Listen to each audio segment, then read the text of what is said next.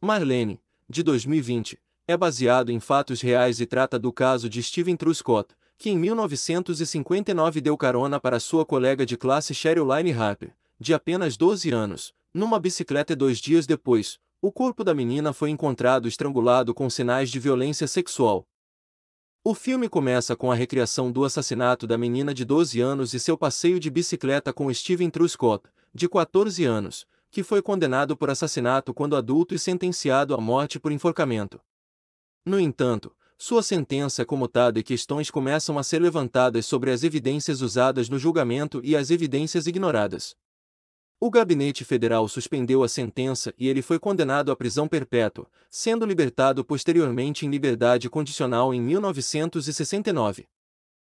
Cinco décadas depois, em 2007, sua condenação foi finalmente anulada, com base no fato de que as principais evidências forenses eram mais fracas do que as apresentadas no julgamento.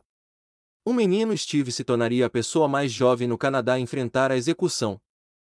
O filme mostra Steven e Marlene, que se conheceram depois que ele foi libertado em liberdade condicional e ele é forçado a se mudar com um nome falso, mas mantém contato com Marlene, que também se mudou para a mesma cidade que ele. Eles se relacionam e se casam, mas como sua esposa, Marlene Truscott trabalhou incansavelmente para limpar o nome do marido, expondo mentiras, encobrimentos e a má administração do caso pela polícia. They made a mistake. They almost hung him for that. What they did was wrong. Essa foi a dica de filmes e ficamos por aqui, agradecendo como sempre o seu like, a sua audiência e a sua inscrição. Se você chegou até esse vídeo pela primeira vez, se inscreva no canal, pois sua participação é importante e voltaremos com mais dicas como essa sugestões, listas e curiosidades.